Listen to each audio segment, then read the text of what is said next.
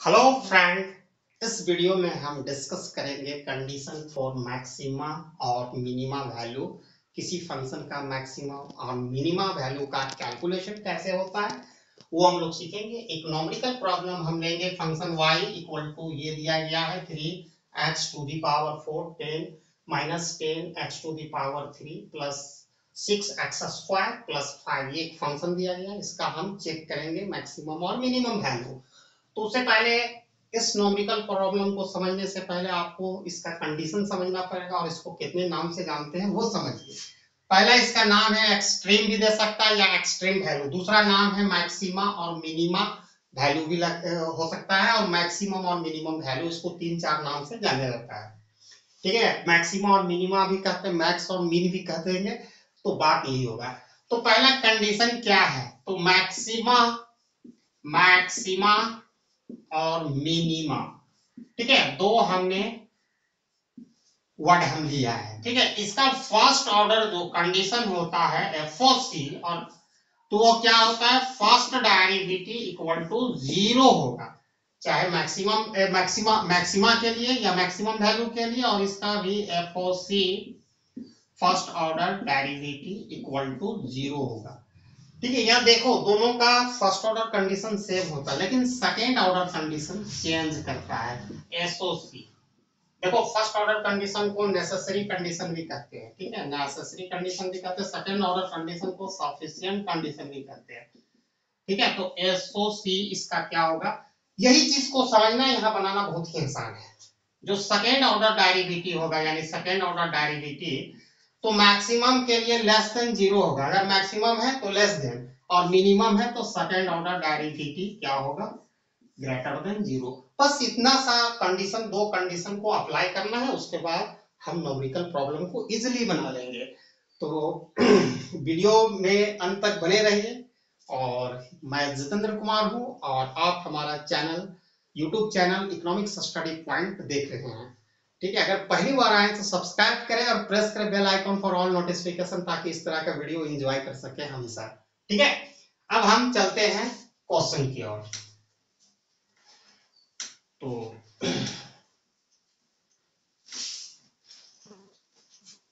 तो first question हमारा है, हमको सबसे पहले एफ़ सी लगाना पड़ेगा जिसको नेसेसरी कंडीशन करते हैं। तो ये फ़र्स्ट ऑर्डर डायरेक्टिविटी हम let y equal to f x मान लेते हैं क्योंकि वाई क्या है?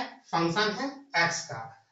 तो इसका फ़र्स्ट ऑर्डर डेरिवेटिव हम लेंगे इस फ़ंक्शन का तो क्या होगा? फोर थ्री जा twelve x to the power cube minus thirty x square plus twelve x equal to zero करना है। फ़र्स्ट ऑर्डर कंडीशन तो हमारा यही है। रुकिए एक मिनट।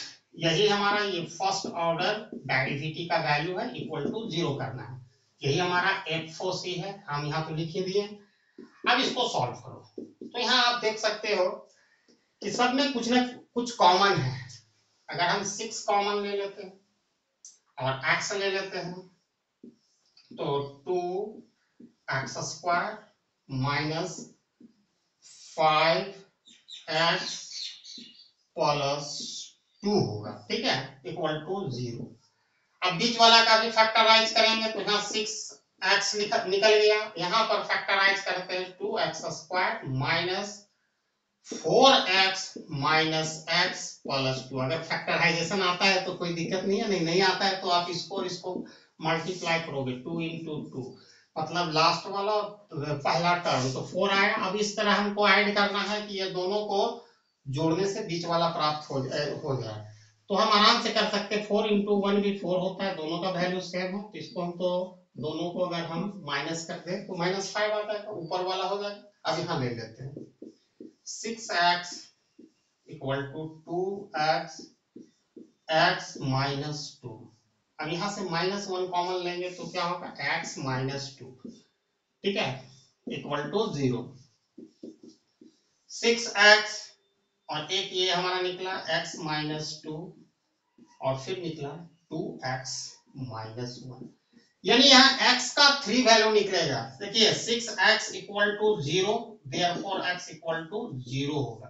ठीक है? पहला value x equal to zero दूसरा वैल्यू हमारा निकलेगा, देखिए यहाँ पर, x minus two equal to zero तो x इक्वल टू टू निकलेगा। दूसरा x का वैल्यू टू निकल रहा है।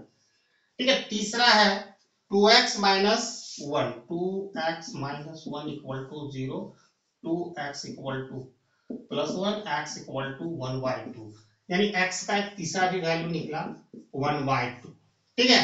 अब हमको सेकेंड ऑर्डर कंडीशन के लिए पढ़ना पड़ेगा. एसओसी सेकेंड ऑर्डर कंडीशन तो सेकेंड डायरेक्टिविटी हम लेंगे उसी फ़ंक्शन का जिसका फ़र्स्ट डायरेक्टिविटी हम लोगों ने यहाँ तक लाया। ठीक है इसका सेकेंड लेंगे तो ट्वेल्व थ्री जा thirty six square minus sixty x plus twelve ये हमारा आ गया। लेकिन सेकेंड डायरेक्टिव हमको ये नहीं पता चल रहा है कि ये ग्रेटर देन ज़ीरो है या लेस देन ज़ीरो है। तो हमको तीनों वैल्यू पर चेक करना पड़ेगा। At x equal to zero कर रहे हैं।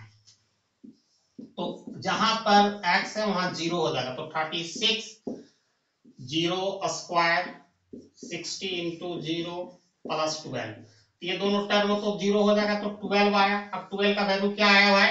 Greater than 12 is the greater than 0 तो it has it has कौन सा कंडीशन है? मिनिमा मिनिमा ठीक है? At x equal to zero ठीक है? पहला हमारा हो गया। दूसरा की तरफ़ बढ़ते हैं।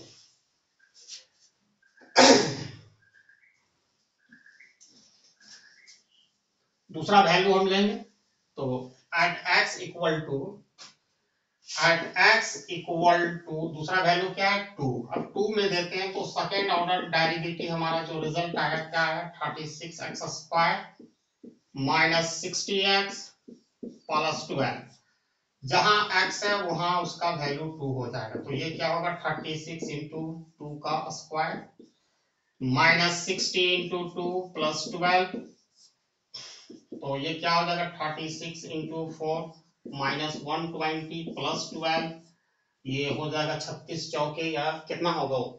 एक सौ चौवालीस होगा, ठीक है? एक सौ चौवालीस plus twelve minus one twenty तो एक सौ छप्पन होगा माइनस वन ट्वेंटी तो छत्तीस आया। तो छत्तीस आया जो भी वैल्यू वो भी ग्रेटर देन ज़ीरो है इट हैज़ इट हैज़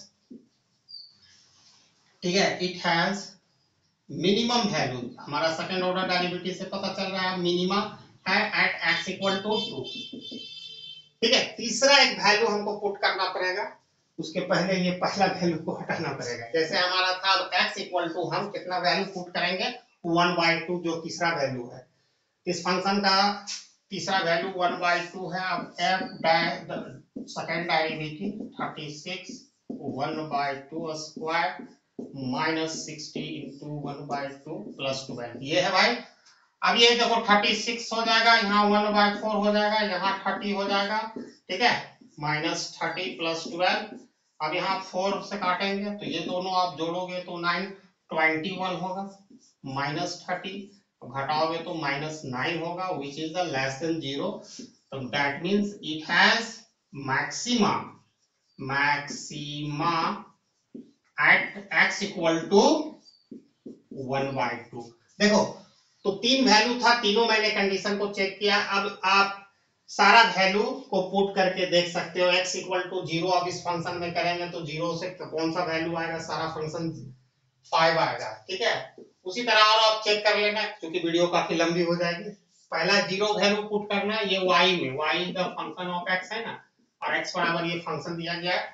पहला यहाँ पर आप y में at x equal to zero कौन सा वैल्यू देखो फाइव आएगा पहला और दूसरा at x equal to two value put करना, फिर at equal to x equal to one by two अब सारा वैल्यू यहाँ पुट करना, अपने मैक्सिमम और मिनिमम वैल्यू हो जाएगा। तो thanks for watching my video till जय हिंद